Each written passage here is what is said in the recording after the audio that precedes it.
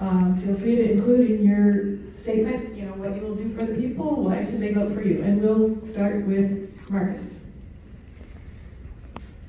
You know, I was asked, why are you doing, why are you doing this? I think that's the important question. I'm not doing this for me. I have nothing to gain. I want to do this for my daughter, her grandkids down the road, the future generations. I see Douglas, or not Douglas, I see the state of Oregon is going the wrong direction. Douglas County, we are sitting in a spot where we can maybe potentially turn this ship around. We can get the other counties to rally behind us. All we have to do is take that first step. Take the step in innovation. Bring new ideas that other counties are afraid to do. Uphold the citizens' right to make their choices. I think Douglas County, already do a good job. Let's continue to push that. You know, this country, our founding fathers, the men that fought in World War II, they believed that this country could be something great. I believe Douglas County could be something great. Therefore, if you cast your vote for me and I get in, I will continue to push the innovation. I will stand up for your rights, and I will do what's best for the future generations. Thank you. I think Douglas County is the greatest place on earth. I've said that a lot. I will tell you though, the last four years have been pretty tough. Um, we started with a snowmageddon, and in the middle of that we had a pandemic, and then we had the Archie Creek fire and it totally destroyed the community above Glide. But during that time, your Douglas County government continued to have the services that you come, and come to expect, from sheriff patrols to roads and bridges being fixed. And that's kind of a testimony to some of the work that uh, your, your Douglas County commissioners did. It's some of the work that I'm proud of. Even during all that stuff going on, we were able to stay open, in-person work and provide the services that you folks complete. At the same time, also averted a budget crisis. So I humbly ask for your vote.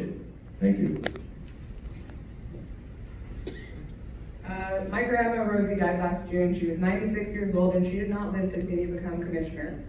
I did not wake up one day and decide to do this. It was after many good faith and legal attempts to work with this administration that pathologically infringes the constitutional rights of the people. Unlike Tim, I was born here in Oregon, in Douglas County at Mercy Hospital. My family has served in the military and I have provided direct care to the citizens of Douglas County with humility and reverence. My maternal grandmother, mother, aunts, grandfather all worked at Roseburg Forest Products in the 70s and 80s in Dillard. In the words of Samuel Adams, if the public are bound to yield obedience to laws which they cannot give their approbation, they are slaves to those who make such laws and enforce them. As such, I will prioritize constitutionally binding term limits, campaign finance reform, and voter integrity. Tim was elected at the same time in 2015 as Kate Grant. It's time to flush Freeman down. So thank you. Um, grew up here in Douglas County. I went over 50 years. Uh, this is my home. This uh, it will always be my home.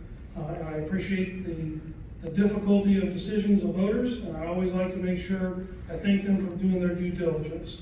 Um, I also want to take just a second and introduce a couple people that are in the room. Sheriff Hanlin's here with us, and um, Rick Wesenberg, our district attorney is here, and Dan, Dan Loomis, our clerk, is here. Uh, I've gotten to know these gentlemen over over the time they've served with the county, and I've been there, and they're great to work with. And I really appreciate the sheriff and the DA supporting my campaign and helping me uh, continue to do the work that the county we do together.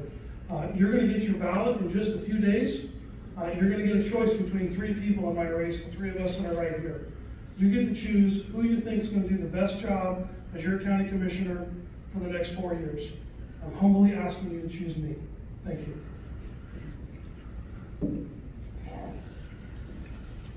Half-truth is no truth at all. And when people are spewing half-truths, you got to question their integrity.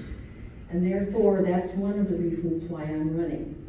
I will listen to you, and I'll find solutions for your problems. I will work for all of the people of Douglas County, not special interests. I'm a native of Douglas County who appreciates the beauty and the quality of life in Douglas County. I understand the need for housing, medical, and respect for the elderly, the vets, and the children with problems, and the homes. I will look at the possibilities for improvement, and I will follow through. I, I have a respect for the people, law and order, and the land. And I am hardworking, under, and I understand your problems, and I'm a problem solver, and I will follow through. I'm willing to take the lead in difficult situations and be able to be that person that you can come to. I will have an open door. There's no non-transparency here. Thank you.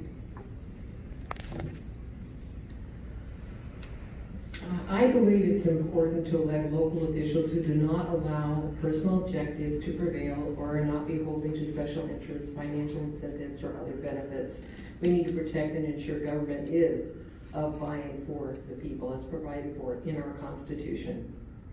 I will work with county stakeholders from timber industry, small businesses, agricultural sector, natural resource interests, environmental issues, and citizens to assure that they are represented in county government decision-making. As well, I will work diligently and collect expert recommendations related to infrastructure, water resource management, public health, and the homeless. Voting for me will assure Douglas County citizens have good access to be heard, get honest representation, and are served with integrity and hard work and respect. My motto for serving as a commissioner is in 1 Samuel 8 7, where the Lord said to Samuel, Heed the voice of the people in all that they say to you.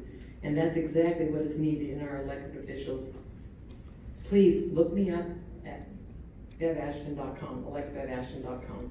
Get all the information and my contact. Thank you for being here tonight, and thank you, League of Women's Voters. Mike for DC. That's my Facebook page. You heard me talk about a bunch of stuff tonight. You can go to that page where I discuss it all in detail. Mike for DC. On that page, you're going to find the promises I made to voters what I will do. One of those is to work without a salary. I will give back to Douglas County $90,000 a year, $94,000 a year for the opportunity to serve you as your Douglas County Commissioner. But what you're not going to find on that page is my promise that I give to you tonight to not have police reports filed against me for harassing and stalking people and also for stealing the campaign signs of my opponents like Commissioner Boice has had filed against him in the last two weeks. And the reason why I can say that is because the people who filed those complaints with the police department are here tonight. I'm not going to name them, but they're here tonight. So if that's the kind of commissioner you want, where he feels he needs to go out and stalk people and harass them, and they have, if you go on my Facebook site, you can see where the people have gone before the Board of Commissioners meeting and complained to the commissioners about it being stalked. Okay, time. So thank you all for coming tonight. I have not been contacted by the police for anything, but thank you, League of Women Voters, for having this. Being a county commissioner is a very difficult and very complex job. Even understanding what we do is very difficult and very complex. Before I decided to be a commissioner, I went and visited with former county commissioners Doug Robertson. I met with Susan Morgan. I met with former Commissioner Mike Winters. I met with the county CFO. I met with the sheriff. I met with a bunch of county staff people and dug into what this job really, really is. And I got elected, and I've done a great job for the last seven years and had the pleasure of working with some very hardworking commissioners as well. There's only three people up here that even know what this job really is. A lot of us researched it before we signed up to go do it, uh, and we've done a great job. And again, I humbly ask for your vote to re-elect me on May 17th. Thank you. Well, thank you all. Um, I want to thank you all for coming and thank the candidates for participating. Um, and I would like to thank my fellow members for helping out tonight as timers and readers and um, card collectors. And thank you so much for getting your questions to us to offer to the candidates. This event has been recorded and it will be available for viewing on our YouTube channel. You'll find the link at our website, which is lwvuv.org. That stands for League of Women Voters of Umpqua Valley, the UV. Um, please note that uh, when your ballot arrives, we hope you will cast a thoughtful and informed vote. New with this election, postmarks do count, but we encourage you to get your vote in as early as you can. Choosing to put your ballot in a drop box will save taxpayer money. There is a new drop box in the Weimar parking lot. This event was paid for by the League of Women Voters of Umpqua Valley. Donations to our league are tax deductible, and we welcome members of both genders. Um, let's see, community support for our annual garden tour is one thing that helps us bring events like this to the public. Tickets for this year's June 18th garden tour will go on sale May 16th. We'd love to see you there. So thanks again, everyone. Stay well, stay safe, and good night.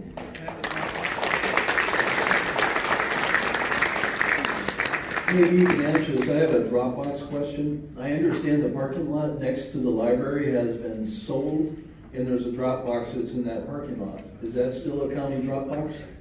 Mr. Lewis, what do you say? I'll answer it afterwards. Do you want to just tell us, is it still a Dropbox at the, across from the library? It's still a legal Dropbox and it's private property. Okay, but people can put their ballots there. Okay, great. Thank you. Oh, let me remind you, there are COVID test kits available. If you need one, please take them. They are available free.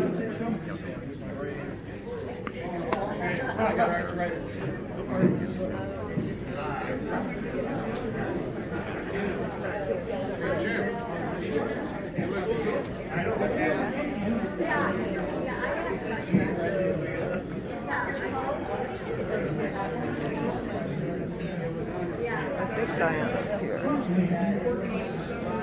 I got that impression. I saw your. We're on the right, front. We're on the left, I hope. I hope she found the correct building.